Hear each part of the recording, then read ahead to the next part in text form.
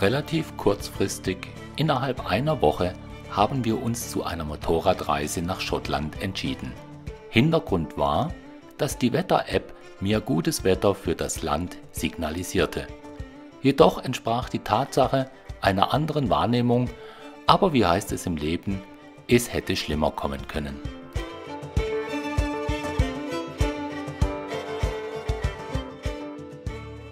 Wir starteten bei leichtem Regen. Dieser hat sich aber dann nach ca. 100 Kilometer komplett verabschiedet, sodass es anschließend nur noch etwas kalt war. Aber damit haben wir gerechnet und uns entsprechend angezogen. Wir waren froh, als wir die 720 Kilometer nach Seebrücke überstanden hatten und es uns auf dem Schiff gemütlich machen konnten.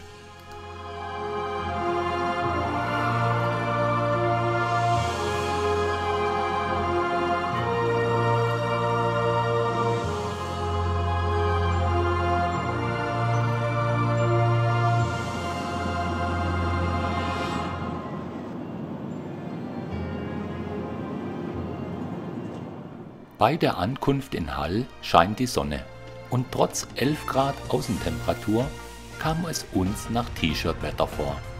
Jetzt kam die weitere Hürde, über 400 Kilometer nach Glasgow und mit einigen Staus auf der Strecke.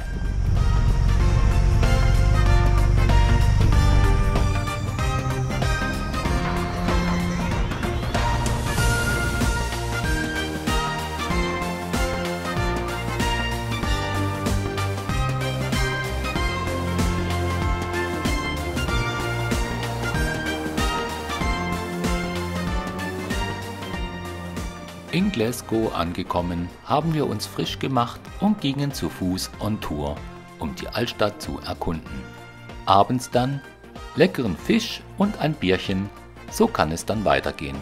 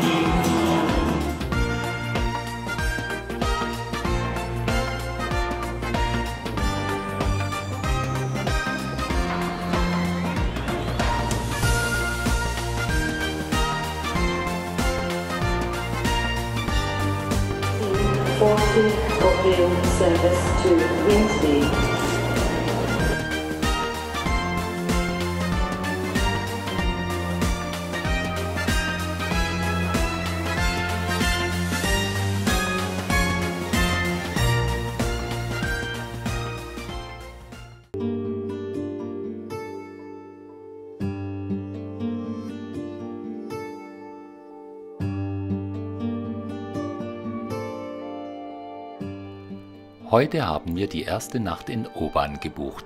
Ein netter kleiner Ort, welcher durch den Whisky erheblich bekannt wurde. Auf der Strecke dorthin gibt es natürlich schon einiges zu sehen.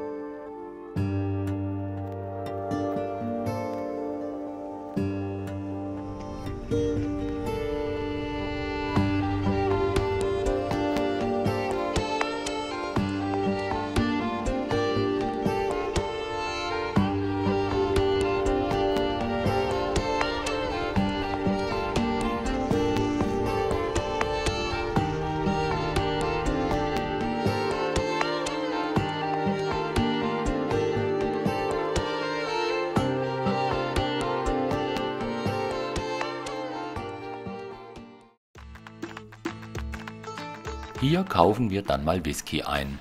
Wer weiß, ob es nochmal die Gelegenheit dazu gibt. Klar, das war ein Späßchen. Aber der Ladeninhaber war sehr freundlich und verschickt die Ware preiswert nach Deutschland. Die Kosten betragen zum Beispiel für 6 Flaschen 12 Pfund.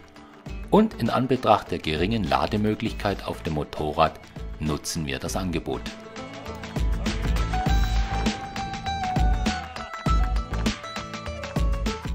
Auch sonst ist Inverey ein schnuckeliges Dörfchen.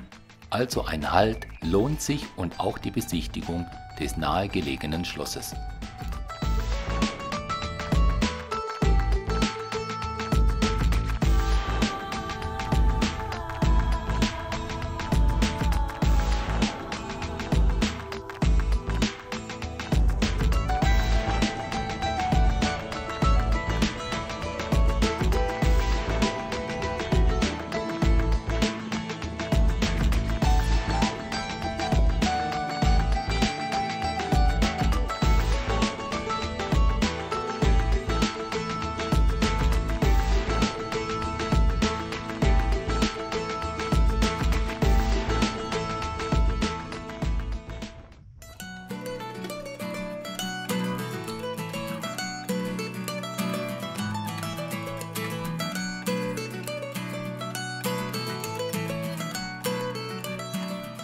In Oban angekommen steht die weitere Erkundung der Stadt zu Fuß auf dem Programm.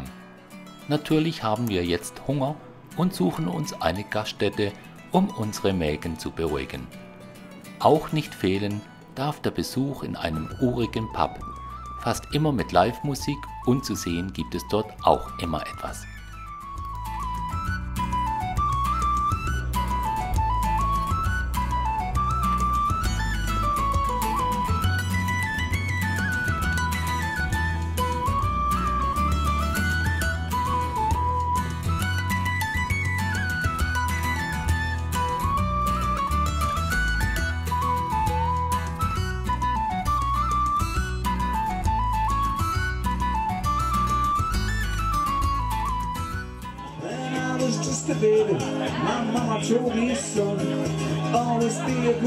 Boy and don't fool around with guns a short to read them, just to watch them die. Mm. And when I hit, take it home and see my kin. Sing songs about the Southland. Bless my family once again, I think it's a sin. Das Tageslicht schwindet langsam und dadurch bekommt Obern einen ganz besonders reizenden Glanz.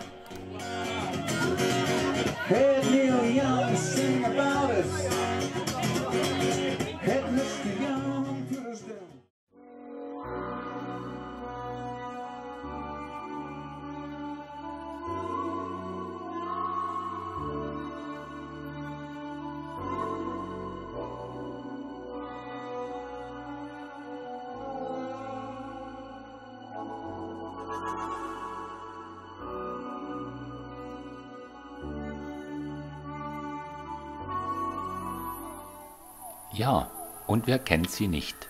Die Filme über Harry Potter. Natürlich darf ein Besuch der Drehstätten nicht fehlen.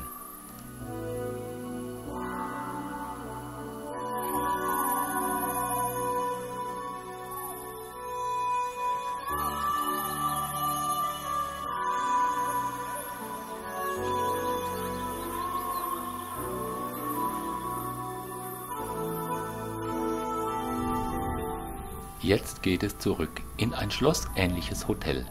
Das haben wir über das Internet gebucht, aber dort auf den Bildern konnte man den Zustand nicht genau erkennen.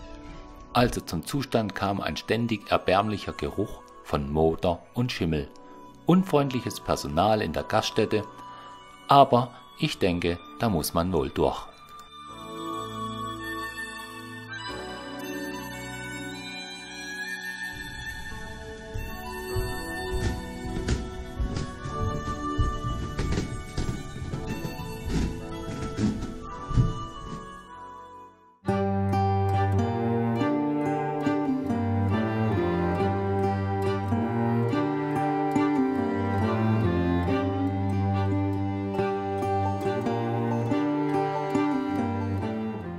Heute starten wir bei leichtem Nieselregen und entsprechenden Außentemperaturen.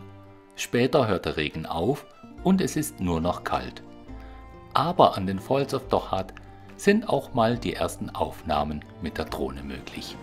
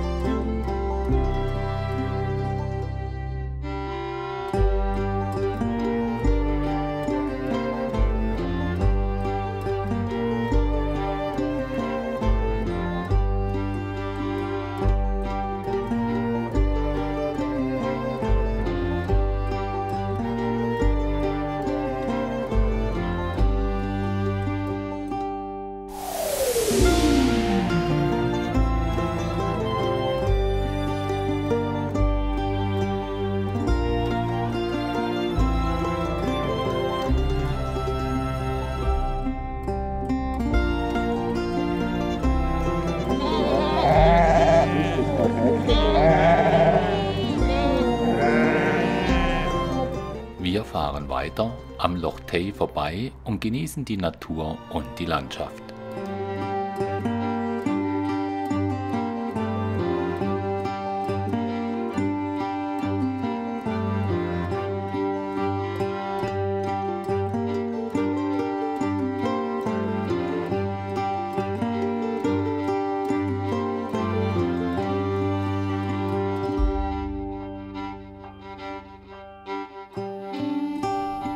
Wir haben uns wetterbedingt entschlossen, die Seite in Schottland zu wechseln und fahren Richtung Dundee. Hier streifen wir per Zufall die Distillerie von Aberfeldy und nehmen spontan an einer Führung teil. Der Whisky wird durch Destillation der Getreidemeische gewonnen und reift in Fässern, bis er zum Verkauf gelangt. Die Brennerei wurde 1896 gegründet und produziert ca. 2,5 Millionen Liter Whisky pro Jahr.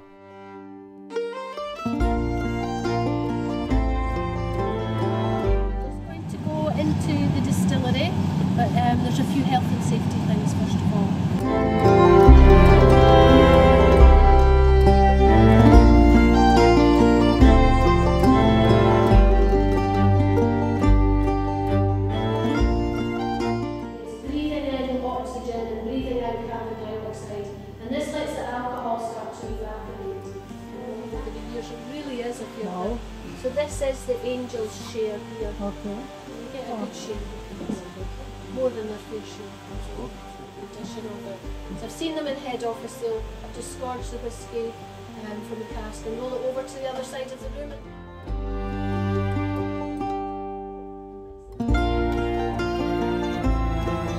I think So you might find some wee black bits in it, but again, it's perfectly normal. You can do it. Sometimes it pops right. Yep. Oh. Again. Das hört sich sehr leer. Ja. Oh. I remember. So will he say to me, it's not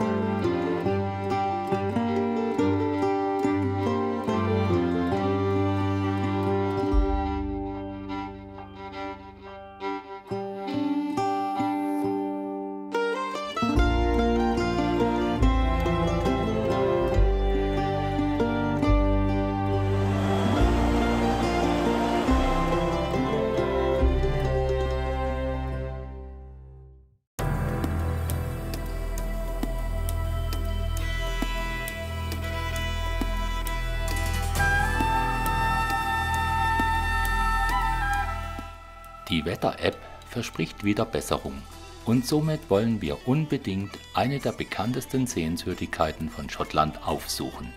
Loch Ness. Wer kennt das wirklich nie gesehene Seeungeheuer nicht? Also, must see and let's go. Aber die Fahrt wird wirklich kalt und wir fahren bei etwa 8 Grad durch die Highlands.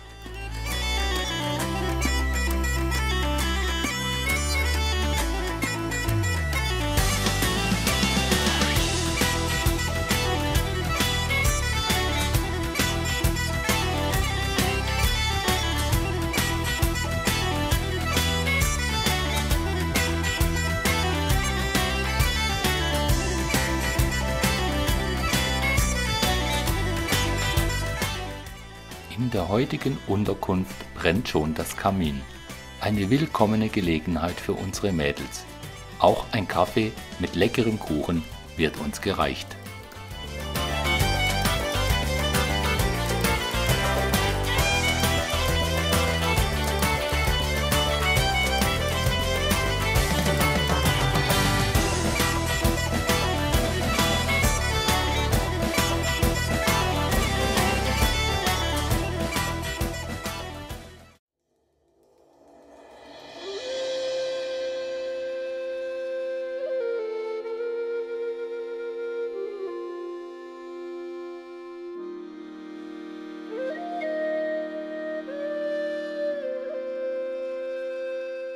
Der Morgen ist dann wirklich freundlicher und somit nutzen wir die Gelegenheit und starten mit der Drohne zu einem kleinen Rundflug.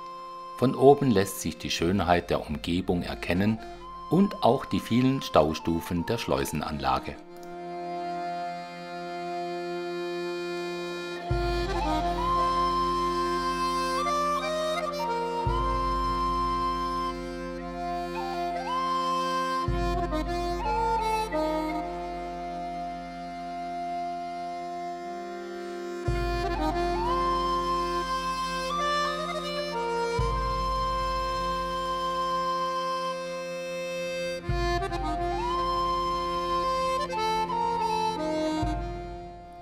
Unterwegs genießen wir die Landschaft von oben und auch von unten. Ganz langsam bekommt der Tag auch nettere Temperaturen.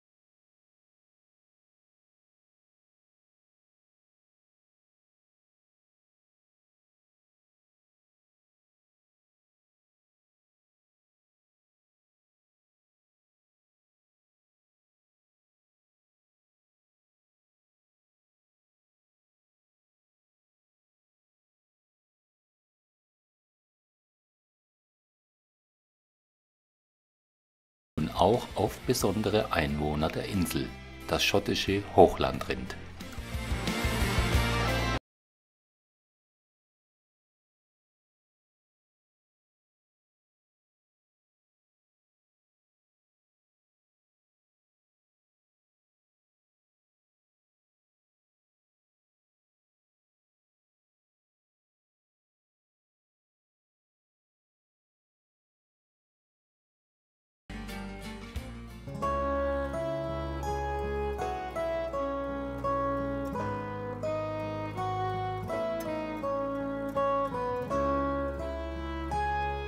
Unser Zeitplan lässt eine weitere Erkundung der Insel Skye nicht zu, so dass wir jetzt die Rückreise auf das Festland antreten müssen.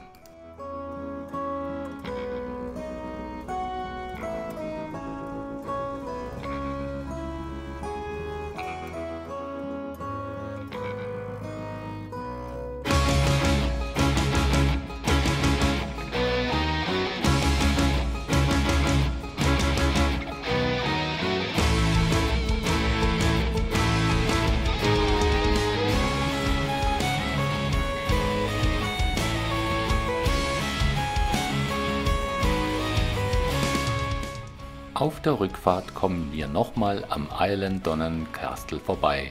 Jetzt nutzen wir das späte schöne Licht von der anderen Seite und können wieder mit der Drohne starten und tolle Fotos schießen.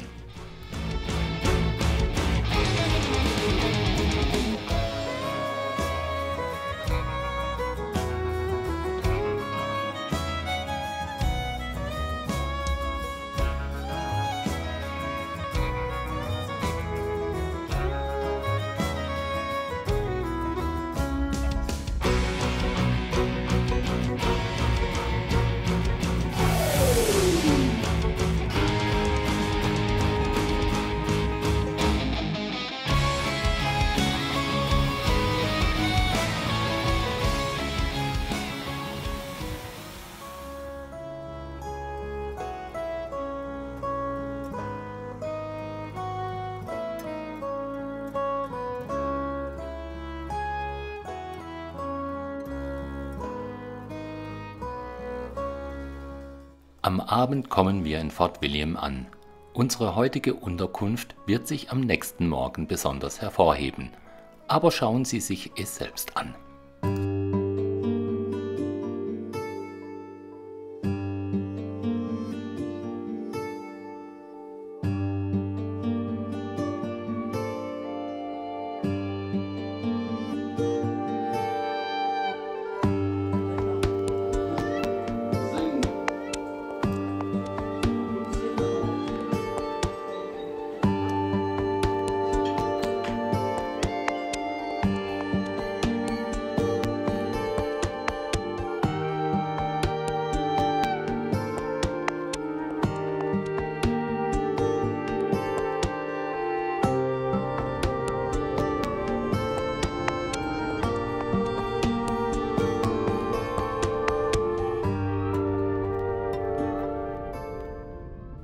Das Wetter bleibt jetzt beständig schön.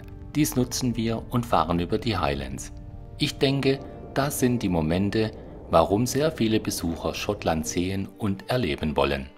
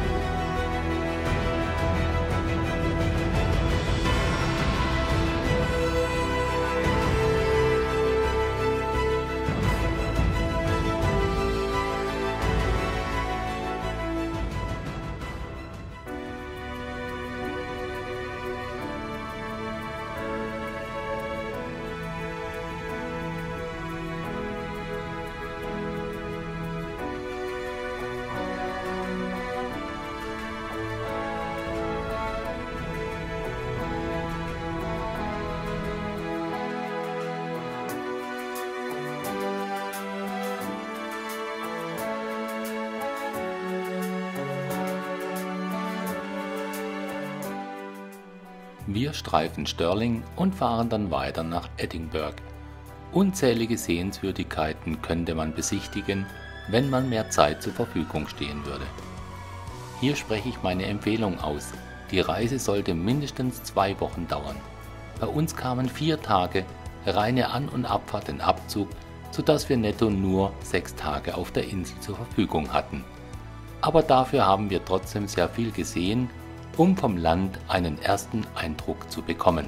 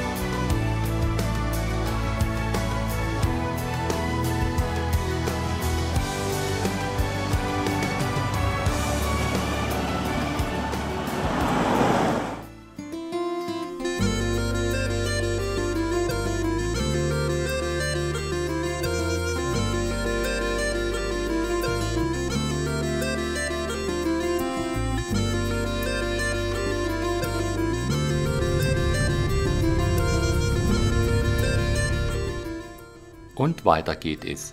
Unser Ziel ist Gretna Green und auf der Strecke befindet sich ein weiteres Highlight, Melrose Abbey, ein zerfallenes Kloster, aber sehr sehenswert. Eindrücke, welche mit der Drohne erst recht zur Geltung kommen.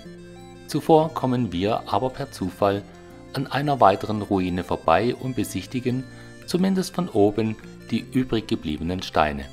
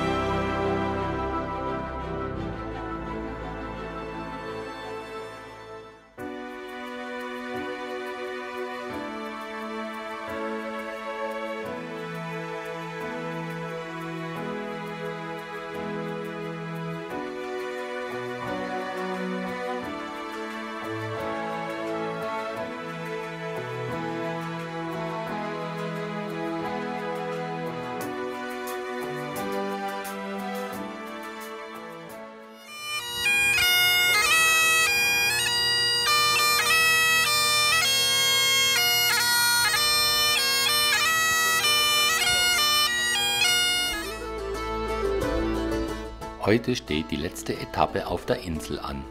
Wir fahren zum Hafen nach Hall und dann geht auch die Einschiffung unspektakulär über die Bühne. Alles geht gut und verläuft unkompliziert. Wäre die lange Anreise nicht nach Schottland, wir wären öfters hier.